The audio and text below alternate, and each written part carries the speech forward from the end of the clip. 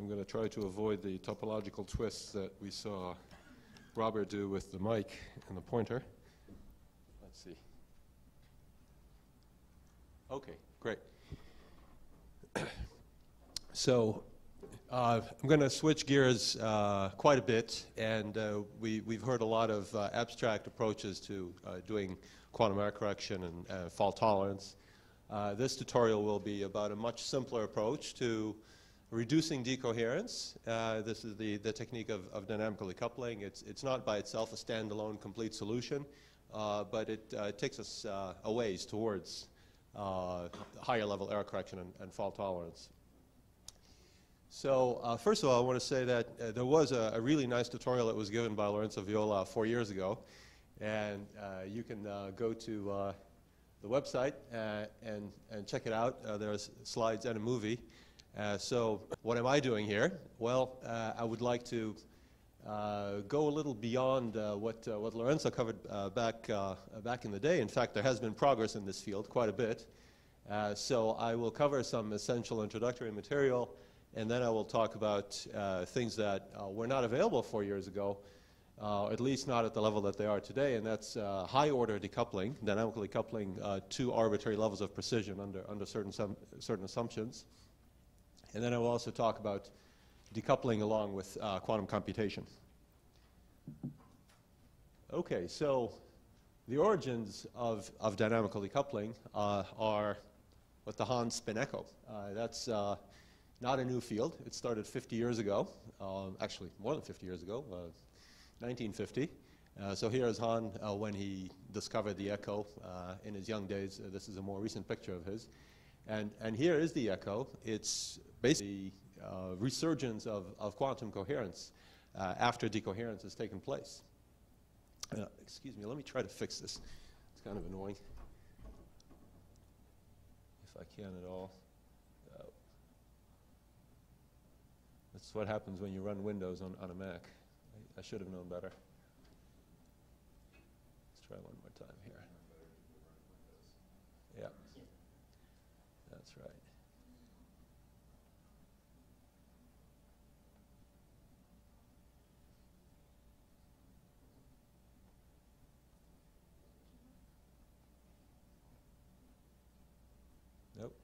All right, we'll have to live with it. Okay, so the, the explanation of, of the Hahn echo, which has to do with uh, getting uh, spins to, to recohere, uh, has, uh, there's, there's, a simple explanation. Uh, one can understand in terms of runners uh, running on a racetrack, which each runner here actually represents a spin on the Bloch sphere, if you'd like. So all the spins are starting out together, or all the runners are starting out together.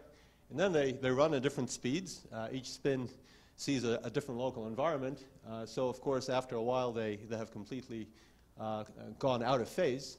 But then what you can do is a simple trick. You can flip them all around, 180 degree pulse. Uh, so here I am, leading this guy, the only time I'll ever do it. But of course, he runs a lot faster, so I'm out of luck. And he catches up with me, and here we are back to the beginning. We've all recohered. There is uh, a uh, more precise way of looking at it, which uh, I stole straight from Wikipedia. Uh, you can go to the website uh, if you'd like, but this, it's, the, it's the same idea. Uh, there is a, a, collection of spins that are all pointing along the, the north pole. you perform a 90 degree pulse, flip them into the XY plane.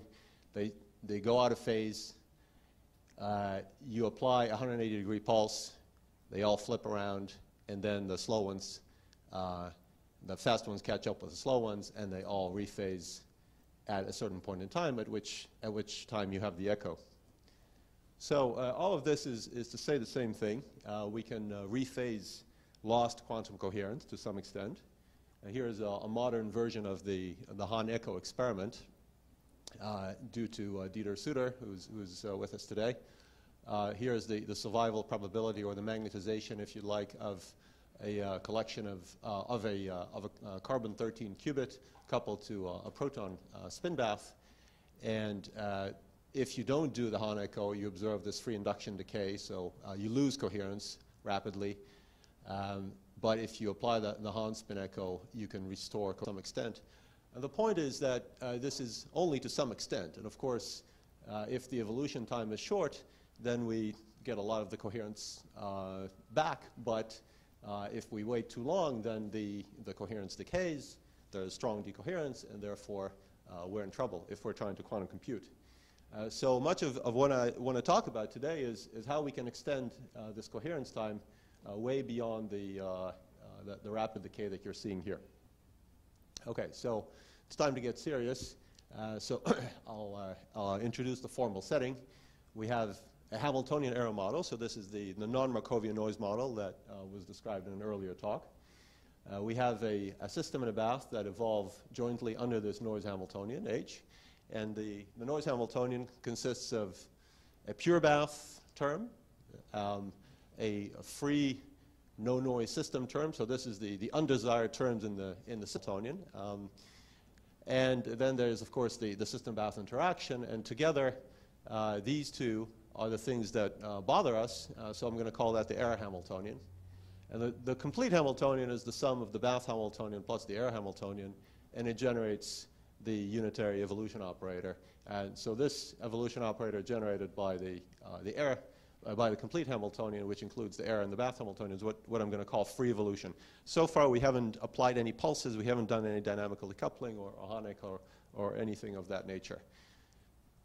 All right, so now in, in this talk, I will assume uh, that all Hamiltonians are bounded in the operator norm. Uh, so uh, the operator norm is, is, just the largest singular value or, or the, the largest eigenvalue for Hermitian operators. And so uh, the, uh, the norm of the error Hamiltonian I'll sometimes call J, the norm of the bath Hamiltonian is beta, and the sum of the two I'll, I'll call epsilon. Uh, but I have to say that this assumption of bounded Hamiltonians is, is not necessary for the analysis of uh, dynamical decoupling. Uh, and in fact, there are examples uh, where, of course, this assumption is, is violated. In particular, if you have an oscillator bath, the norm of the, the bath Hamiltonian uh, as well as the system bath Hamiltonian, can, uh, can be formally infinite. Uh, so if that's the case, it doesn't mean that we can't do dynamical decoupling. It just means that this type of analysis that I'm, I'm showing you here um, needs to be modified, and instead one should use correlation functions and, and bath spectral densities and filter functions. Uh, and that is uh, indeed possible um, and will be covered, I believe, in Mike Biercuk's and uh, Gonzalo Alvarez's talks, that kind of approach to to doing dynamical decoupling. But I will assume, uh, for simplicity, that uh, the, uh, the, the, Hamiltonians all have bounded norm, and that actually does describe well situations involving spin baths as opposed to oscillator baths. Okay, so what is dynamical decoupling? Well, basically, dynamical decoupling is, is just kind of a, a, rude way to treat the, the system bath. You just interrupt it all the time. Uh, what you're doing is you apply a set of instantaneous unitary operators, uh, P sub j, only to the system. You apply pulses, unitary operations, at times T sub j, uh, in between free evolutions. So here's the, the first pulse, uh, P0, then free evolution uh, for time tau 0, and then again another pulse and another free evolution, another pulse, another free evolution, et cetera, et cetera. And at the end, you have a unitary evolution operator for the system in the bath, but remember the pulses are applied only, only to the system. So pictorially, uh, here's the first pulse, then a free evolution subject to the, the Hamiltonian, which includes the bath and the, and the, and the error Hamiltonian, another pulse, free evolution, et cetera, et cetera. And in fact, this is dynamical decoupling at the simplest level. All dynamical decoupling sequences uh, can be described in this so-called bang-bang manner, where we bang on the system with, uh, with these pulses. Uh, the, the only complication in more realistic treatments of dynamical decoupling is uh, when we have to include the, the fact uh, of life that pulses have finite width, in which case, of course, uh, you cannot treat these uh, the, the, pulses as, as delta functions, as, as I'm doing here. But I'm not, I'm not going to worry about that in this talk, and there will be talks, for example, Lorenzo Viola's and, and Dieter Suter's, where this assumption will be relaxed. And of course, it's a, it's a very important thing to do to include finite pulse width effects. Everything I'm, I'm going to tell you in this talk is under this scenario. So you see how simple this is compared to uh, the, the more elaborate constructions we, we heard about before. Uh, there is no topology, uh, there's, there's, no braiding. Uh, at, at, this point, in fact, there's not even going to be any encoding, although later on I to invoke some encoding. Um, so all it is really is just uh, uh, this idea of applying pulses, uh, certain types, at certain intervals, uh, separated by certain intervals, to the system. And, and that is supposed to, like in the Hahn spin echo experiment, supposed to restore coherence to the system. In fact, do more than restore coherence. We, we should be able to protect an arbitrary qubit, arbitrary qubit state. So uh, indeed, the, the way that different dynamical decoupling pulse sequences different, different, differ is by the, the choice of pulse, type, pulse types and pulse intervals. Right, so for a qubit, typically we can pick pulses from the Pauli group, uh, identity, sigma x, sigma y, or sigma z. But we don't have to. We could, we could pick other uh, elements of SU2 as, uh, as our pulses. Um, and uh, the, the other important choice is the question of, of the pulse intervals. Th those are the degrees of freedom we have in this problem. It's desirable uh, to, to optimize the choice of pulse types and the choice of pulse intervals. And this optimization is something that's been done and uh, I will talk about to, to some extent. Uh, so there are many examples and uh, well, all these acronyms here, PDD, RDD, CDD, etc. we'll, we'll talk about those in, in more detail. Uh, they, all these different acronyms refer to different choices of, of pulse types and uh, in some cases also pulse intervals. So you, you buy yourself a lot by choosing different pulse types or different pulse intervals. All right, so uh, how good does dynamical, dynamical decoupling get? Well, here again is the, the general scheme. Uh, and this formula basically summarizes uh, what you can expect in general from dynamical decoupling. Right? So at, at the end of this evolution, when you have this unitary operator here at the final time t, you can always write it in this form. It's, it's a unitary, so I can always write it as the exponent sum uh, my, i times the Hermitian operator. And uh, there's a sum of, of two terms. Uh, first, h naught here. h naught is the component of the original Hamiltonian that commutes with all the pulses. So if, if you have a piece in the original Hamiltonian that commutes with all the pulses, it's unmodified. All right, so Therefore, it just carries the original time scale t. But then you have contributions from uh, new terms, which did not commute with all the pulses. Therefore, they, they got modified. Uh, and these new terms, um, h, h sub alpha, effective, uh, each have a new time scale associated with them. So I'm just going to write that generically as t to the uh, n alpha plus 1. And n alpha is what we call the decoupling order of different types of errors. These, these terms are, uh, are undesired, uh, so they're classified as errors, and we have different error types. And so the problem we, we want to solve in dynamical decoupling is a sort of a min-max problem. We would like to maximize the smallest of these decoupling orders, which I'm, I'm just going to call n, uh, while minimizing the amount of work we have to do, which is the, the number of pulses that we're applying. Right, so for the least amount of work, the, the fewest pulses, I'd like to carry these errors to the highest possible order in time. That's what we'd like to do with dynamical decoupling. If, if we could uh, make this infinite, then, uh, then we'd be uh, very happy because then all we'd be left with is this, this term here, which we can design in such a way that it contains only harmless, uh, only harmless components or even useful components, such as components that allow us to, uh, to perform computation. So th this is the basic problem in dynamical decoupling. How do you maximize the order of, uh, of each of these errors uh, while minimizing the effort uh, in terms of the number of pulses? All right. Uh, I want to make a quick digression because the, these errors can be computed using uh, the Magnus or the Dyson series. So this being a tutorial, I thought it would be nice to uh, to say a word or two about the Magnus and Dyson series. I'm, I'm, sure everybody's familiar with the Dyson series. Magnus might be less familiar. Uh, you run into it when you start to study dynamical decoupling uh, or, or uh, NMR, average Hamiltonian theory, and NMR.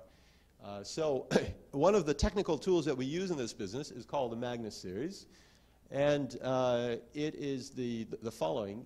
it is a, an approach to solving the first order linear differential equation, which is the Schrodinger equation for, for most of us now in the, in the, in the system bath setting, right? So uh, H is the, the Hamiltonian for the system bath. And it's time dependent because we've transformed into the so-called toggling frame where we're rotating with the pulses. So everything has become, uh, we're, we're, we're, in this frame, we're rotating with the pulses. The Hamiltonian has become time dependent. Um, so while the, the Dyson series, familiar to, uh, to everybody, I'm sure, is, is an expansion as, as an infinite sum of the unitary operator, uh, the Magnus series is an expansion inside the exponential. And this uh, has nice features that I'll comment on in, in a moment. Uh, and you can, well, you can uh, write down what the, the terms are in the, in the Dyson series. This, this should be familiar. Uh, in the Magnus series, the, the terms of, uh, of this expansion rapidly grow more and more complicated. The first order term is easy. The second order is, involves one commutator. The, the third order involves uh, double commutators, et cetera, et cetera.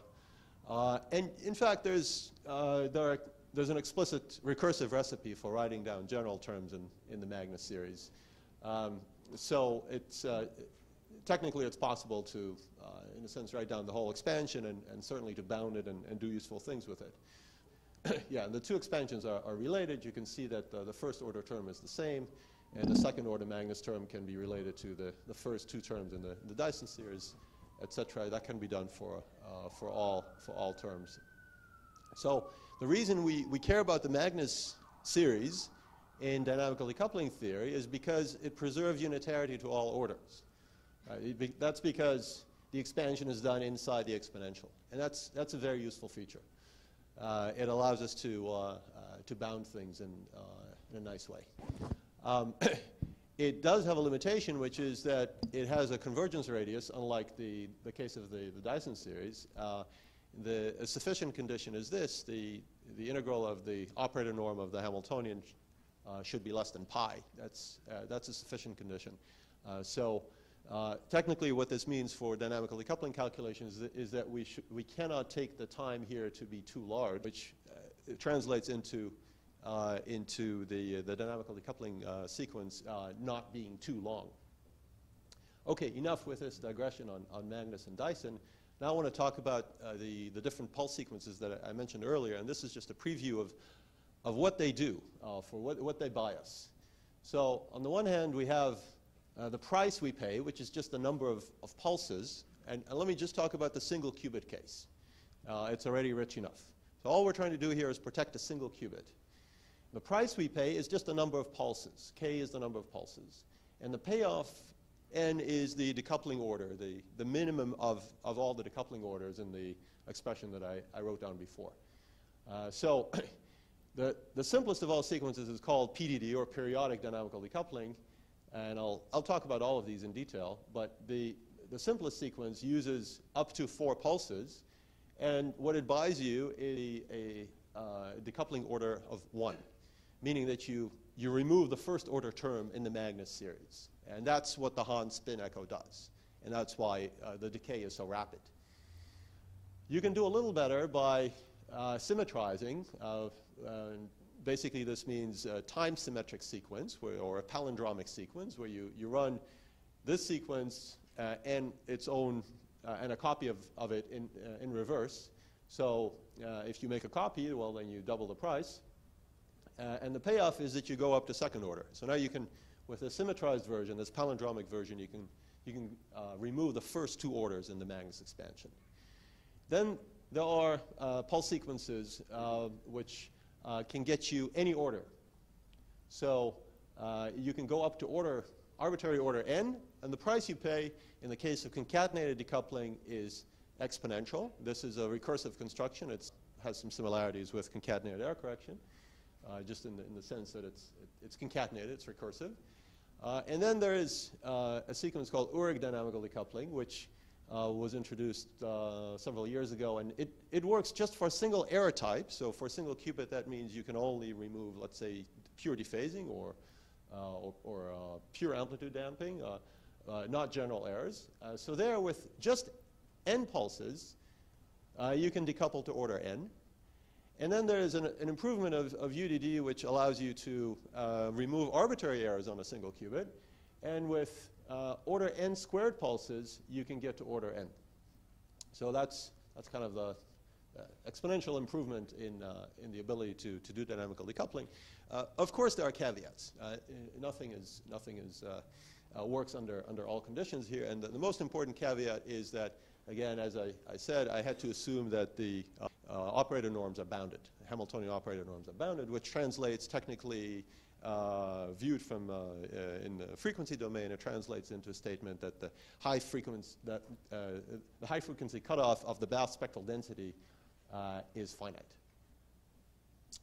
Okay, so let me now talk about these various decoupling sequences. and let me start with the, the simplest one, PDD, periodic dynamical decoupling, which is this, this sequence that, uh, with a constant number of pulses, gives us first order decoupling. And, and again, this, this really is uh, an outgrowth of, uh, of the Hahn spin echo. Um, eh, the Hahn spin echo can be described in, in this language. So, so let's say that we have a free evolution operator, uh, F, I'm going to call it. Uh, we evolved the system and the bath together for some time tau. And now the construction is to uh, pick pulses uh, by design from a unitary symmetrizing group. So we, this is a group. It has elements G, G sub j, uh, unitary operators, those are our pulses. And the way we're going to apply these elements is in this manner. So you just cycle over the group and you apply its elements, uh, first the element, then its conjugate, et cetera, et cetera. And then you take this sequence and you repeat it. And that's, this repetition is why we call it periodic dynamical decoupling. So now we identify the pulses as the products of two successive group elements. So this would be P1, uh, and Pj in general is uh, the, the inverse of pulse j minus 1, of element j minus 1 times, times the next element. And we also identify uh, gk with, with g0. Okay, so now if you uh, use the fact that you can move the, these unitaries up into the exponential, um, essentially a form of the Magnus expansion, or in this case, it's actually just the Baker-Campbell-Hausdorff type uh, calculation. You see that to, to first order in tau, uh, t divided by k is, is tau, uh, you have this sum here. And then there are some, some second order corrections. And so clearly, what's happened is that we've taken the original Hamiltonian and we've transformed it into what I uh, called H naught before, uh, which commutes, indeed, this term commutes with all the pulses. It's been symmetrized. This is a projection, technically, it's a projection into the commutant of, of the group G. So this, this kind of an expression indeed commutes with all the pulses, uh, so uh, it, uh, it deserves this, uh, this name H naught as, as before. Um, this is the, the term that's first order in T, and then we have uh, these higher order terms, uh, which still act as errors. But the point is that we've gotten rid of things that don't commute with the, uh, the pulses to first order. All that's left is just this one term here that already commutes with all the pulses. Okay, so, so we have achieved first order decoupling. There's no order t term left that doesn't commute with, uh, with all the pulses. Uh, what are these high order terms? Again, you can compute them using the Magnus expansion or the Dyson expansion, but basically they involve commutators, uh, double and triple and higher order commutators of, of this form. Okay, so in this language, what is the Hahn echo? Well, let's say that uh, the noise looks like this. Uh, typically, the Hahn echo is, is uh, described just for pure dephasing, so when it's just a z tensor bz term. But let's, let's consider a general error Hamiltonian on a single qubit. For the Hahn spin echo, the decoupling group is just the two-element group I and, and sigma x, let's say. Um, now you go through this construction where you identify what the pulses are. So you multiply the group elements, and you find that there are, uh, actually there's only one pulse. Uh, P1 is x, and P2 is also x. So the pulse sequence, according to the, the previous construction then, where we write things in this way, the pulse sequence is just f, x, f, x. F is free evolution, right? So we're doing free evolution, or let me read from right to left, uh, we apply a pulse, free evolution, pulse, free evolution. That's, that's basically the, uh, the Hahn echo sequence. Or here in, as a picture, apply the pulse, free evolution, pulse, free evolution. It takes total time two tau, two free evolution uh, segments. And when you write out the, uh, the unitary operator for the system in Bath, you see that you have a first order term. The first order term is the thing that commutes with the group. Uh, obviously, x commutes with, with x, so uh, this one is not decoupled. And then you have higher order terms, And the important thing is that y and z got eliminated uh, from the first order. So they only appear to, to second order. And I, I, put primes here, which you can barely see, but uh, these are not the original Bath operators. Of course, they get modified due to these commutators in higher order. So the point is that with the Hahn echo, we got rid of, of y and z, of sigma y and sigma z. We got rid of those errors to first order. Uh, there's a, an interesting connection, an important connection, in fact, with error detecting codes. Uh, you, uh, you see that, uh, in a way, the, uh, the errors that, that got removed to first order are the errors that can be detected uh, by this stabilizer group. And that actually is a way to, to generalize dynamical decoupling, which I'll, I'll say a little bit about later on. All right, so now the next example, the so-called universal decoupling group, uh, that's when we are dealing with uh, when we want to protect a qubit against uh, an arbitrary system Bath Hamiltonian on a single qubit. So we uh, expand the group. Now we, we have the Pauli group. Rather than just uh, identity in X, we have identity I, X, Y, and Z. And now we, we, we do this multiplication, and we find that there are two pulse operators, uh, X and Z. Okay, so now the pulse sequence is this, ZFXF, ZFXF. That's the pulse sequence. And this pulse sequence has the interesting and important property that it completely decouples uh, a, a, a, qubit uh, to first order from an arbitrary uh, system bath interaction.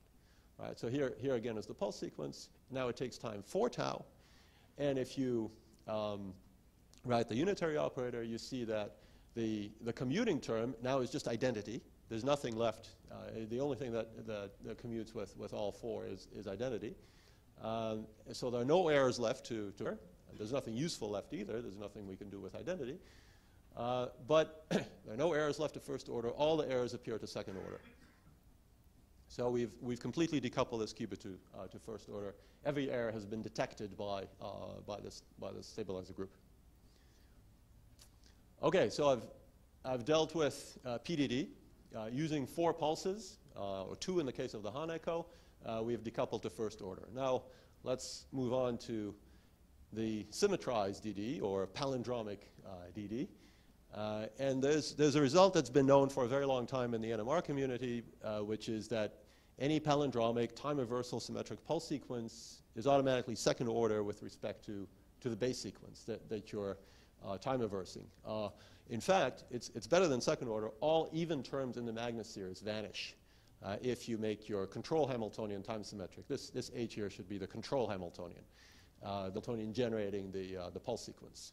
So with, by symmetrizing, we can remove all even terms in the Magnus series, and therefore, if we pick a sequence that eliminates first order, it automatically, in this construction, also eliminates second order, uh, and therefore we get um, a second order decoupling. So, so here's what it looks like. Again, same, uh, same noise model. Uh, the, this is the, the general single qubit error Hamiltonian. We take the same decoupling group, but now we take the pulse sequence and we also write it in reverse. And uh, if you multiply the, the two Z operators here, uh, they cancel. So actually, you, are left with two free evolution operators here. So this is, uh, in the middle, you have a, uh, a segment that takes time 2 tau. And that's, that's what's shown in this, in this picture here. All right, so now the total sequence takes time 8 tau, and uh, the unitary operator now uh, no longer includes second order term. Uh, so the, the first order term is just identity, and everything else shows up to, to third order. All right, so we have second order decoupling uh, uh, for the price of making the sequence twice as long. Okay, so that's not good enough because uh, we need to be able to get to arbitrary order. So how do we get to arbitrary order? There are basically two general techniques that I'm aware of for, for doing that. One is concatenation, which gives rise to concatenated decoupling, or CDD. And the other one is uh, pulse interval optimization, which gives rise to a, a whole new family of, uh, of pulse sequences. So concatenation goes like this. You want to think about the, uh, the error Hamiltonian, the noise, as some level zero type uh, error Hamiltonian. Okay, so that's why it has the, the superscript zero here, we're, we're going to iterate it in some sense. Again, let's pick the, uh, the general single qubit uh, Pauli group. as the decoupling group. And let's call the pulse sequence that we used before, the uh, ZFXF, ZFXF, let's call that pulse sequence P1. It's going to be the level one in the, in the recursion, in the, in the concatenation. Uh, so, so here it is again, same as before. Um, you've seen this already. But now let me think of, of this Hamiltonian that appears here uh, to second order. It's, it's actually, technically it's not a Hamiltonian because it doesn't have the right units because it's tau times t squared. But think of this operator, nevertheless, think of, try, think of it as a Hamiltonian, which has the same structure as the, the noise that we started out with, the noise that we wanted to decouple.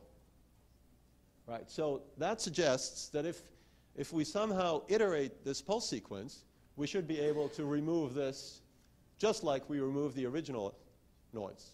Right? And so the way to do that is to insert the pulse into itself. Uh, inside every free evolution period, we're going to insert the same pulse sequence. Right, so written out in pulse sequence language, rather than having a free evolution period, we take the original pulse sequence, P1, and stick it in between the original pulses. Right, so this clearly is, is a first level recursion. And then uh, it's, well, it's, hopefully it's already self-evident, but it can be shown rigorously that uh, this indeed removes uh, the second order term completely and leaves us just with a third order term. Everything has changed. Uh, the, the, the, pure, the, the Bath operator uh, has also changed. The error Hamiltonian here is now error Hamiltonian superscript 2. Everything changes, but the important point is that the order in time has grown from 2 to 3 by, by this recursion. Why? Because it's, it's the same error model. Right? So what worked at the lowest level should work again if we concatenate. And so you, you can keep going. Um, and this, this is the general form of the recursion. Uh, and then if you do this to level k, you, you will have decoupled to order k. So the, the first non-trivial term that shows up is order k plus 1. So this uh, can indeed be made rigorous, uh, this kind of construction, uh, and uh, um, you can prove bounds and etc. But, but this, this really captures what's going on uh, with concatenation. You, you actually are able to, uh, to go to arbitrary high order in time, provided here that I'm keeping the, the total time fixed. As, as this picture suggests, what I've done is I've fixed the total time for which the pulse sequence evolves, and I perform the concatenation by shrinking the intervals tau. So at every level of concatenation, I'm making the intervals shorter and by a factor of four uh, each time. And one may object um, correctly that, that this is, uh, in, in, some sense, it's unphysical. I cannot keep making these, uh, these intervals shorter and shorter because uh, the shorter the interval, the more energy I need to, uh, to put in there. So another way to look at it is to say, uh, let's, let's keep the interval fixed and let's grow the total time. Right, so now the total time grows like grows exponentially. And in this case, you find that there is an optimal concatenation level. At some point, uh, depending on the parameters of the problem, at some point it, it doesn't help to, to, concatenate any further because essentially the bath has, has, uh, has, too much time to act and to, to inflict damage. Uh, and the, the optimal concatenation level uh, can be shown to be the uh, uh, inverse log of the norm of the error Hamiltonian plus the norm of the Bath Hamiltonian times the, the fixed pulse interval time. Right, so the, that, this makes sense. The larger the, the norm of the error Hamiltonian, the smaller is the optimal concatenation level, and likewise for the, the Bath Hamiltonian. Okay, so this is concatenation. And uh, what it does is for the price of using an exponentially growing number of pulses, you can, if you want, in other words, if you want uh, decoupling order n, you need to use an exponential number in n pulses to, to get there. Okay, so this, this is nice, uh, but an exponential is not good. Uh, and so um, there is an alternative uh, way of looking at things. So far, what I've done is I've kept the pulse intervals constant. But what if we try to somehow optimize the pulse intervals? Right? Is, does that buy us something? And the answer is yes, and this was uh, observed by, by Uhrig in, in, a paper in 2007. Um, as I said before, first for the case of error, so let's say pure dephasing. And what he showed was that using only order n pulses, we can already get uh, decoupling order n. So uh, there will be there will be several talks about this. So I'm not going to go into too much detail, but let me let me give some background about it.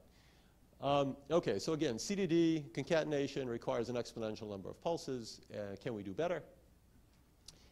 And the, the, optimization problem we want to solve is to maximize the smallest decoupling order while minimizing the, the number of pulses. Okay, so for pure dephasing, Uhrig showed that we can do this with n pulses. And for general single qubit decoherence, as, as I'll argue briefly, uh, it can be done with, with n squared pulses. All right, and this is the, the construction, uh, the Uhrig construction.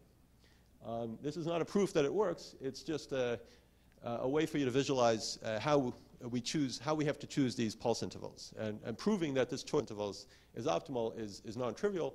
Uh, there, are, there will be a couple of talks and posters uh, on that topic. So uh, the Uhrig construction, which buys us order n decoupling with only n pulses, uh, refers to, to this Hamiltonian, where we have pure dephasing.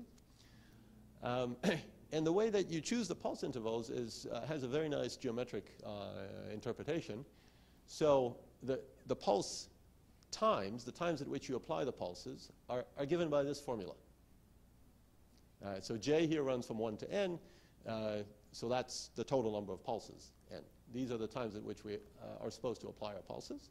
And, and what this formula means is nothing but the following. You, you draw a semicircle, and you divide it into n plus 1 equal angles. Uh, each, the, the, first angle is twice theta 1. Um, uh, the, the, angles are, are given by, by, by, twice this, uh, this so uh, j pi over n plus 1. And then you drop down a vertical, and the points at which these verticals in intersect the, the time axis, that's where you apply the pulses. All right, so the, how many pulses do I have here? Three, four, Six. So the sixth order Uhrig sequence uh, has pulses exactly at these, at these time intervals. Uh, at the lowest order, this actually reduces to what is known as, as CPMG in the, uh, in the NMR community. Uh, so so this, this is the way that uh, the, the sequence works. Technically, you, uh, you apply the pulses at, at these time points. And what that buys you is what it says here is the uh, the unitary evolution operator now has the, the component that commutes, like before, to first order, but the component that we were supposed to decouple, the pure dephasing term, now appears to order n plus 1. Provided you choose your, uh, you, provided you apply your pulses at these, at these points in time. That's remarkable. Now, uh, single uh, axis uh, errors are, are not the most general thing. How about general qubit decoherence, right? So how about the general error model? In this case, what we can do is we can basically use uh, the concatenation idea again. Um, we just have to concatenate or nest once. This is called quadratic uh, DD or QDD. And uh, we have to nest uh, two different types of, of Uhrig sequences. So uh, geometrically, you can think of it as follows.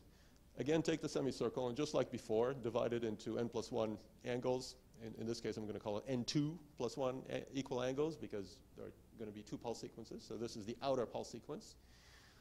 uh, so apply x pulses at these moments in time. The x pulses effectively will decouple sigma y and the sigma z uh, contributions to the, the error Hamiltonian. And then you take each of these intervals and draw another semicircle and inside each one of these, you do the same thing. And this is where you're going to apply the z pulses. Uh, so the, the, the, points in time at which you apply the pulses are precisely where you see the, the red and the blue lines. So if you do this, you're guaranteed to essentially uh, get uh, uh decoupling to order n1 plus 1 or uh, sorry, uh, using n1 plus 1 times n2 plus 1 pulses, you're going to get decoupling to order min of n1, n2. Uh, so this is a lot better than, uh, than using concatenation because it's basically quadratic in the, in the number of pulses, whereas concatenation required an exponential.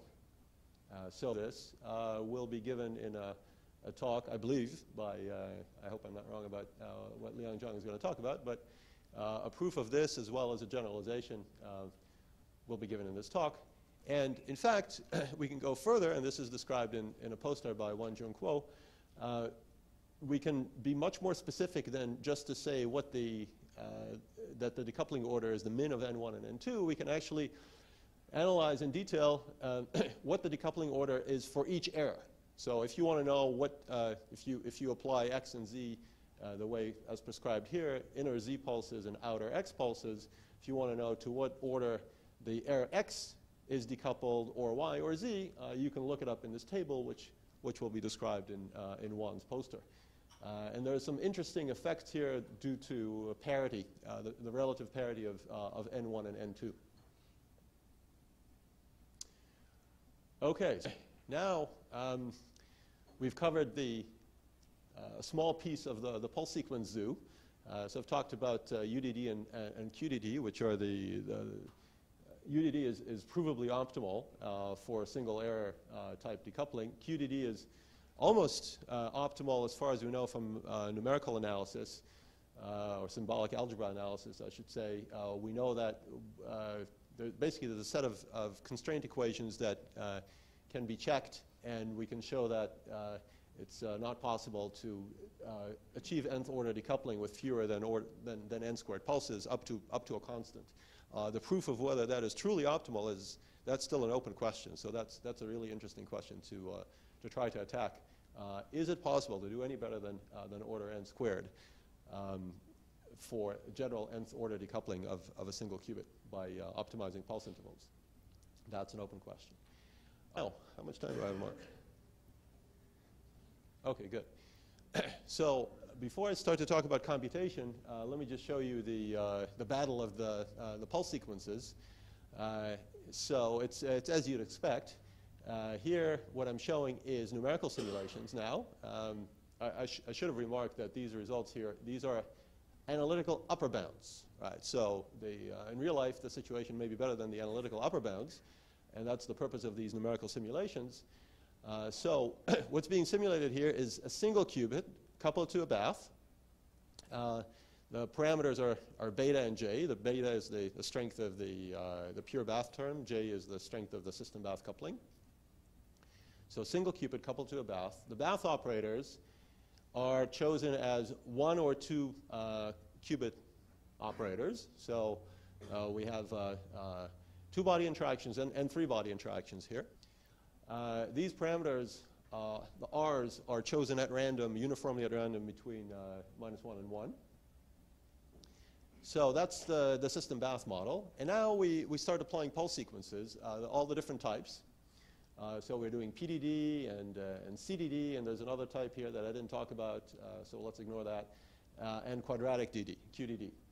Uh, and this, this is just a, a, reminder of the cost that's involved in, in, each one of these pulse sequences. What we're doing is we're actually applying a fixed number of pulses, and for each pulse number, let's say 100, we compute the log of the trace norm distance between the initial state that the system was in and the final state that the system was in. So we have a single qubit, and we want to check to what extent it was preserved. This is the, the hard drive problem that uh, Andrew was talking about. Right? So we're just trying to store a qubit. So what you're seeing here is how well we were able to store this qubit as, uh, as measured by the distance between the uh, initial and final state of the same qubit. Uh, and I should say that this is averaged over, not only over the, um, uh, the Bath uh, parameters here, but also over initial, um, initial system Bath states. Uh, what we're doing is we're picking a random, a, a pure uh, initial, bath, uh, initial system bath state at random, and we trace out the bath, get the system state, and then we average over many such uh, choices of, of the initial system bath state. So uh, that's why you see the error bars here. Uh, there's averaging over all these random realizations. Okay, so the, the, smaller the better. We would like the trace norm distance to be small. And so with, with PDD, uh, you see that the, uh, the error actually starts to, to increase as you increase the number of pulses. Right, so that's not good. Uh, the error starts to build up. The more pulses you use, uh, the, the larger the error. Uh, with the techniques, uh, CDD, which is the purple line here, the error goes down uh, nicely. Uh, with concatenated Uhrig DD, it, it, gets a little better. Uh, this is basically, uh, let me not talk about this one. And the uh, QDD, the green line, you see that uh, the error goes down very fast. Right, so for using 50 pulses in this model, and by the way, this, this is a small simulation, it, it, it's a single qubit coupled to four other qubits. the bath is represented by, by by four other qubits, but we're actually solving the Schrodinger equation uh, in this entire uh, Hilbert space of, uh, of one system qubit plus four Bath qubits. so see that, for example, with 50 pulses, well, the, these are the kind of trace norm distances that, that you get. It's very, very small uh, with, with QDD. It's, it's also small with the other ones, but the improvement is, is of course, uh, remarkable with QDD. So the battle is won by QDD. That's the, that's the message here. All right, so now in, in the remaining time, I would like to talk briefly about uh, uh, how we combine all this with computation. After all, as Andrew said, we want to do more than build hard drives. So the basic problem we're facing with using dynamical decoupling is that uh, dynamical decoupling pulses seem to interfere with the computation uh, because they, they cancel everything, uh, or at least they cancel everything uh, to the extent that they only leave the, the component that commutes with all the pulses. So how can we reconcile doing dynamical decoupling with doing computation? Uh, and I'm aware of at least three approaches. One is called decouple while compute. The other one is called decouple then compute. And the, uh, the last one is dynamically corrected gates, and Lorenza Viola will uh, give a talk about that on, uh, uh, at, at 3 today. So let me start very briefly, unfortunately for lack of time, uh, say a few words about decouple while compute. It's it's uh, an approach that really works well uh, with, uh, with error correction uh, in, in some sense. Um, so what we want when we do decouple while compute, what is decouple while compute? It's, as the name suggests, we're doing decoupling and we're performing computation all at the same time. So in order for the decoupling not to ruin the computation, we, we need the pulses in the computation to commute. And uh, immediately solutions suggest themselves from, uh, from quantum error correction and from noiseless subsystems. For example, we could use uh, a code and the stabilizer normalizer structure, or we could use the double commutant structure of, of noiseless subsystems. So specifically what I mean with use stabilizer normalizer structure is, is this. Let's say that we pick our, our dynamical decoupling pulses as the stabilizer generators of a stabilizer code. So the, the stabilizers of the code are not things we're going to measure now in order to detect errors. Instead, we're going to apply these operators as pulses. If we apply them as pulses, they commute with the logical operators uh, of the code. And therefore, the thing that, uh, remember that H, H naught was the thing that commutes with all the pulses, what will be left is precisely the logical operators of, of the code. So if, if we do this well, uh, we can achieve universal computation. Uh, because these logical operators now are terms in a Hamiltonian. They're not, okay, so the, uh, the, the, universality constraints with the Clifford group and all that, uh, you need to rethink that because now these, these are terms in a Hamiltonian. So it's enough uh, to have arbitrary single qubit and, and, two, and um, it's enough to have single qubit and two qubit operators in the Hamiltonian in order to achieve universality. And that we can, uh, we can in fact construct for interests. So, so this is one idea. Again, we're using dynamical decoupling pulses which are the stabilizer generators or the stabilizer elements of the code, and then the Hamiltonian that's left will consist of, will consist of the logical operators of the code. Uh, alternatively, and this refers to this uh, noiseless subsystem business, we could use uh, dynamical decoupling pulses as, as collective rotations. So think of a, of a DFS. Um, the dynamical decoupling pulses are collective rotations. And what commutes with collective rotations? Well, Heisenberg exchange interactions commute with collective rotations. So we can use this to, uh, to show that uh, we can, for example, perform high fidelity uh, gates, encoded gates for, uh, for quantum dots, where Heisenberg interactions are, uh, are relevant. So that's all I want to say uh, very briefly about decouple while commute. It uses this commutation between the pulses in order to uh, achieve uh, the goal.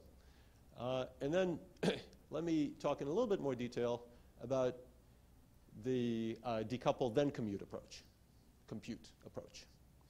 So, so here we're doing the following. Here's a circuit, um, and uh, let's say that we're actually trying to perform a, a fault-tolerant simulation. Okay, so no dynamical decoupling yet. Uh, we have we have gates in a, in a fault-tolerant simulation. Um, let's divide the time steps into durations tau zero. Uh, and the gates themselves uh, take some, uh, some time. They have width delta, uh, and we're going to put them at the end of, of each time interval. So the, the full Hamiltonian is the, uh, the, the, error Hamiltonian plus the bath Hamiltonian plus the, the control in this case is what implements the gates. I'm, I'm thinking about this at a uh, purely Hamiltonian. And it's too bad that this is covered now because this is a really important line. uh, so in fault-tolerant, uh, in, in fault-tolerant uh, quantum computation, and in, in, particular in the context of the accuracy threshold theorem, we, we are interested in the noise strength. So this is eta is the noise strength, which is the norm here of uh, the air of yes of the error Hamiltonian multiplied by tau zero. Okay, so eta is the norm of the error Hamiltonian times tau zero. That should be less than the um, the threshold, which let's say is 10 to the minus four, 4. So if this quantity, which we call the noise strength, the norm of the error Hamiltonian times this time interval, is less than the threshold, then fault-tolerant simulation is possible. Okay, now how can we improve this using dynamical decoupling? Right. So far, there's no dynamic. Is there a way to make things better using dynamical decoupling? And the answer is yes, sometimes.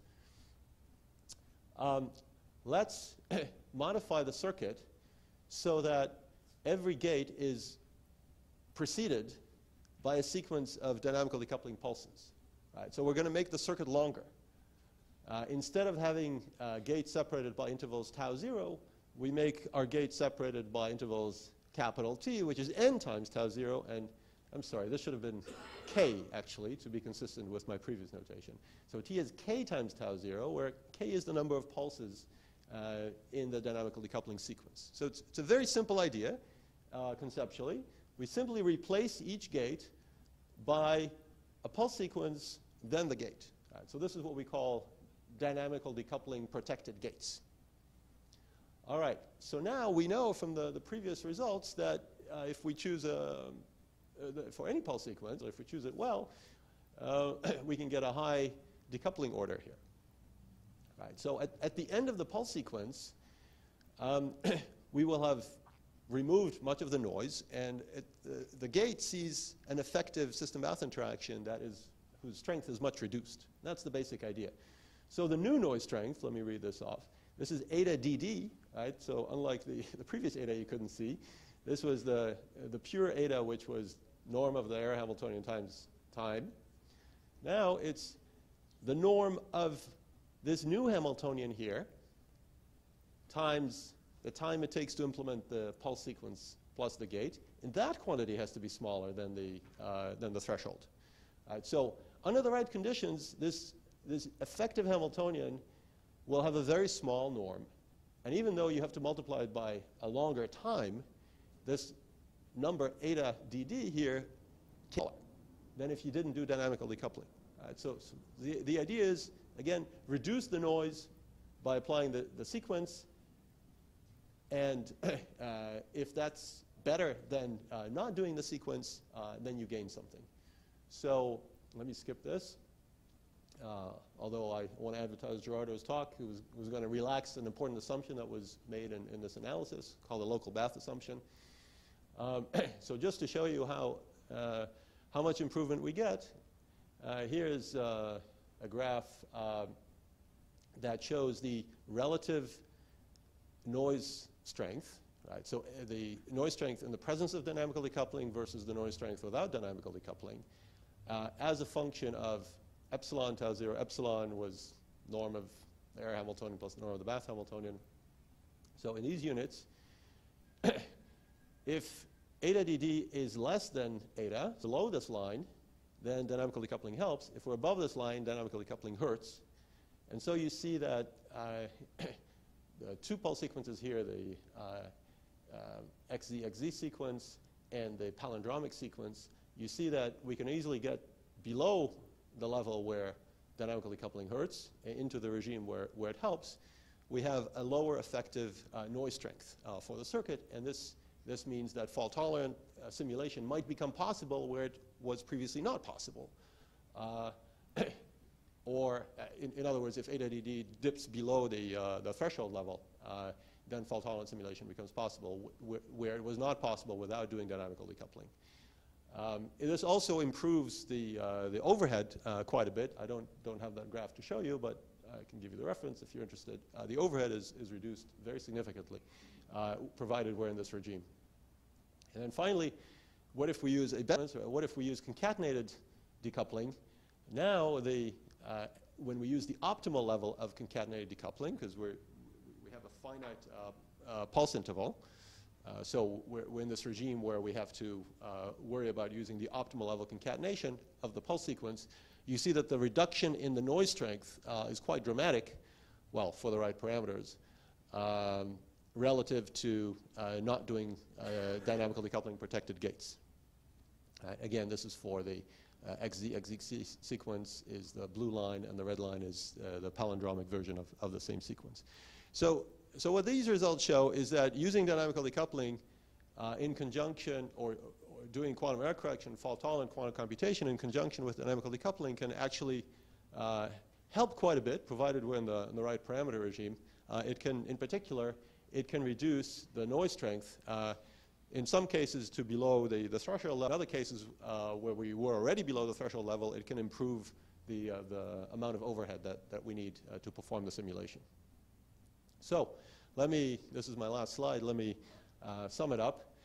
In some sense, doing dynamical decoupling is trying to fight decoherence with, with your hands tied because uh, this is a method uh, where all you do is you apply these control pul pulses uh, and it's, it's open loop. It doesn't use feedback and doesn't use measurements. Uh, so uh, there, there is an extra resource out there which is doing feedback, doing measurements, in order to, uh, to improve uh, performance. But here we're saying, let's not do that.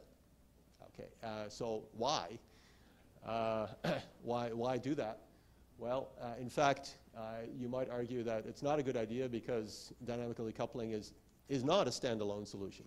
it cannot by itself be made fault tolerant. I believe uh, Kaveh Hoja talk about that on, on Thursday. So why do we do it? Why do we tie our hands behind our back, behind our backs? Uh, and the answer is, uh, first of all, this open loop approach is technically easier. Uh, I think that should be clear. applying a pulse sequence is easier than, than braiding. or even just doing feedback, performing measurements and, and feeding back on information acquired through measurements. So it, technically it's easier. Uh, we've also seen that we can use dynamical decoupling at the lowest level to improve performance, uh, maybe even uh, get below uh, threshold, and reduce overhead. And finally, uh, what I really like about this uh, approach of dynamical decoupling is that it, it is ready uh, for experiments. in fact, there have been plenty of experiments testing dynamical decoupling, and the results are, are nice, they're encouraging, and I think we're going to hear quite a bit about that later. So with that, I'll thank you.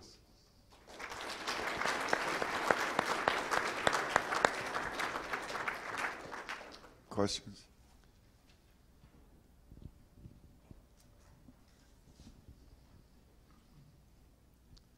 Uh, Daniel, in, in between uh, feedback and measurement, there's the possibility, I would think, of having some more knowledge about the Hamiltonian and therefore making use of the extra space in the free evolution for robust control, let's call it. Still open loop.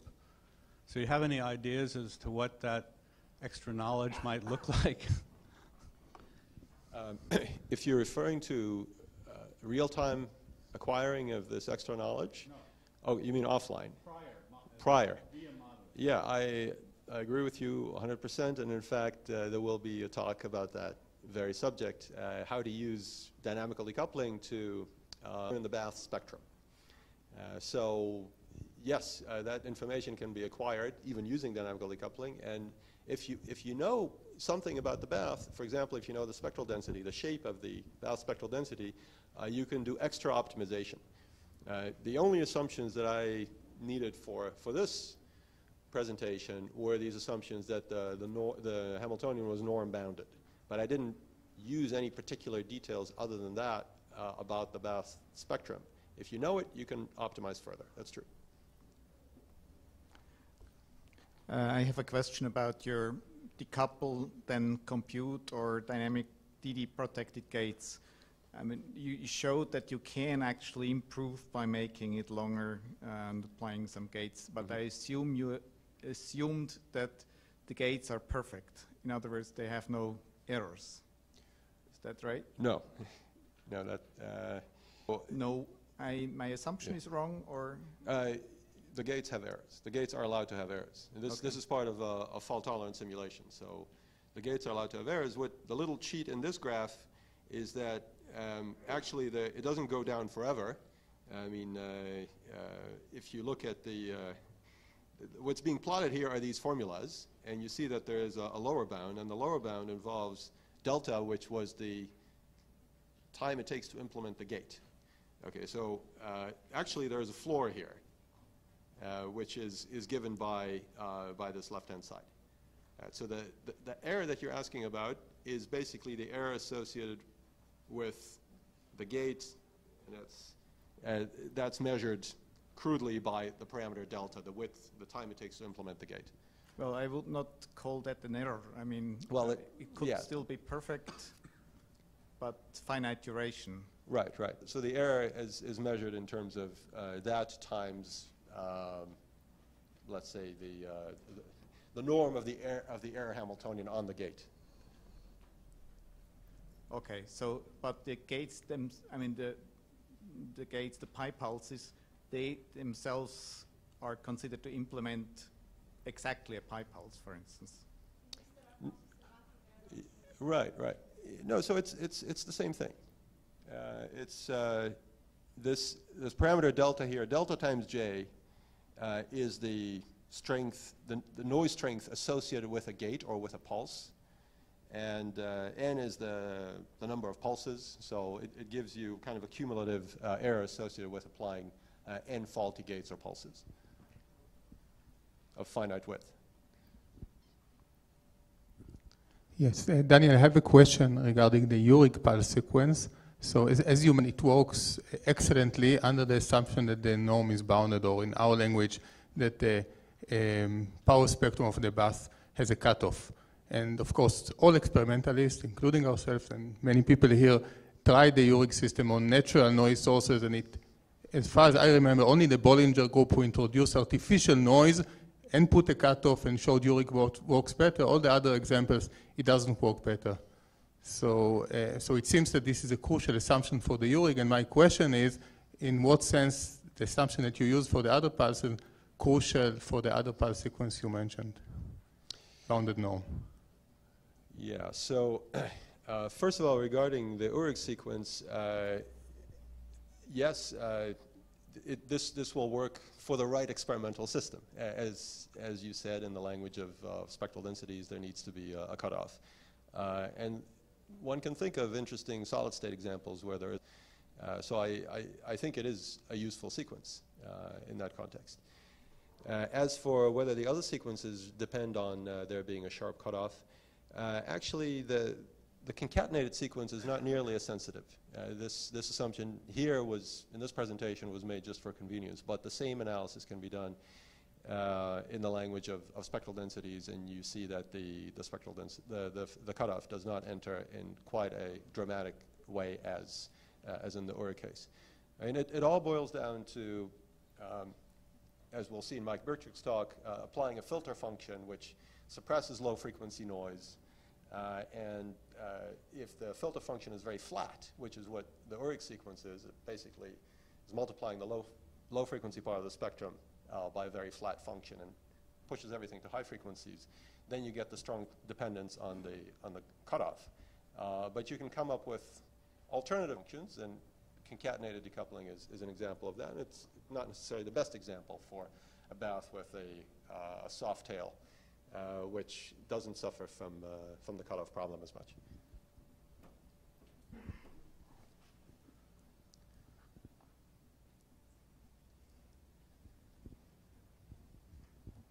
Got a question about the slide where you compared uh, the various scheme for single qubit um, and their complexities, uh, the compl- complexity versus the de- decoupling order. Right. Uh, I wonder how uh, randomized schemes uh, fit into the picture. The, the schemes you had, they, they seem to be all deterministic. I Yes. wonder what you could buy, like with a randomized sequence, which decoupling orders you might achieve. Right. Uh, so I uh, did not talk about uh, the randomized uh, sequences. Um, oh, excuse me.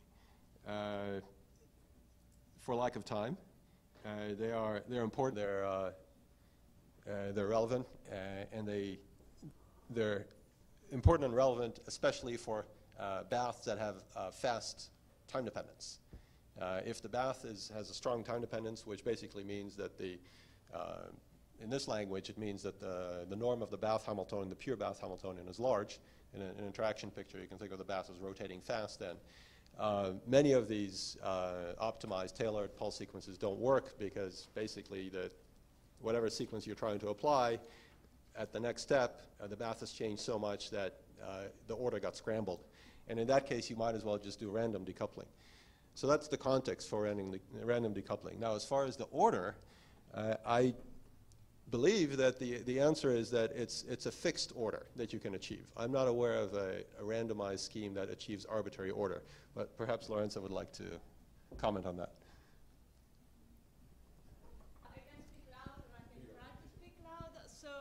Um, well, uh, it's a bit tricky to define what the order of suppression is for uh, randomized decoupling schemes because they don't naturally lend themselves to Magnus type analysis. But um, um, from my own experience, the uh, other feature that they have is that they become most uh, powerful in many qubit settings for which the decoupling group uh, is an appreciable and the larger size it has the better because what randomization buys essentially is a square root improvement in the time for traversing the group.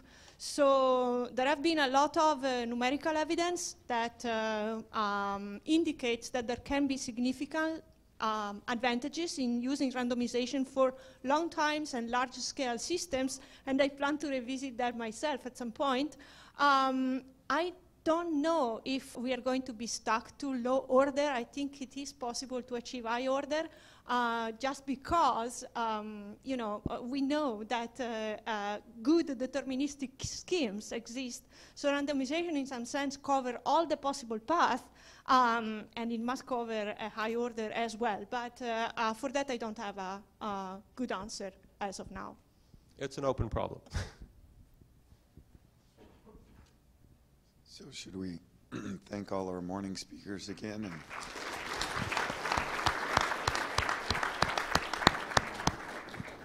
and lunch is upstairs, right?